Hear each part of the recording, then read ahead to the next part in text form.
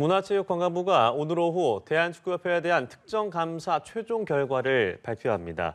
앞서 지난 7월 국가대표 감독 선임 등과 관련해 감사를 시작한 문체부는 지난달 중간 브리핑에서 축구협회가 홍명보와 클린스만 감독 선임 과정에서 여러 차례에 걸쳐 규정을 어겼다고 밝혔습니다.